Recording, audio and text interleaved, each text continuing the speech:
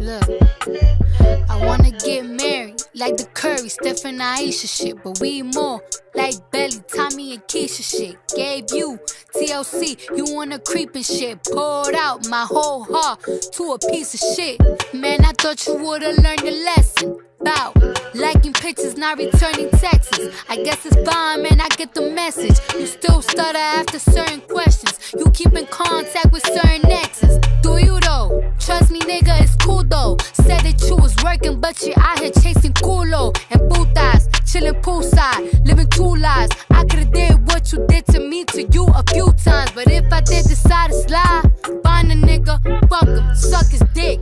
You would've been pissed, but that's not my mo. I'm not that type of bitch, and karma for you is gonna be who you end up with. Don't make me sick, nigga. I adore. I gave you everything was mine is yours. I want you to live your life.